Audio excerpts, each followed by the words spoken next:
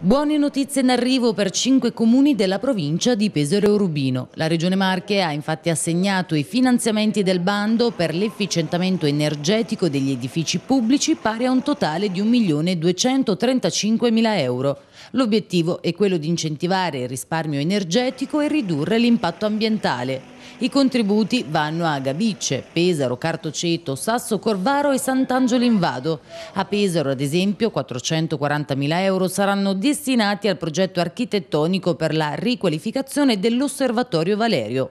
A Cartoceto invece 200.000 euro, e cioè l'entità massima del cofinanziamento pari al 75% del costo totale del progetto, verranno investiti nell'ex autorimessa per realizzare una officina della creatività. Una notizia molto positiva che attendavamo, devo dire, da tempo. Avevamo partecipato più di un anno fa a questo bando dedicato all'efficientamento energetico degli edifici pubblici e, e per noi significa poter avviare i lavori della terza terza tranche di riqualificazione di tutta quest'area in cui ci troviamo. La prima aveva interessato all'epoca la riqualificazione della copertura dell'edificio dell'ex autorimessa comunale di Cartoceto, la seconda fase invece aveva coinvolto eh, l'ex pista polivalente con la realizzazione di una nuova infrastruttura sportiva che tra l'altro in parte ci aveva anche cofinanziato il CONI tra i primi 30 progetti in Italia e questa sarà la terza tranche che invece ci garantirà di poter partire con i lavori di riqualificazione dell'intera eh, struttura dedicata